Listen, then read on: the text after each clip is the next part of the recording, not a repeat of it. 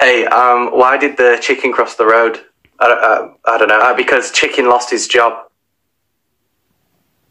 Chicken is broke. chicken strips.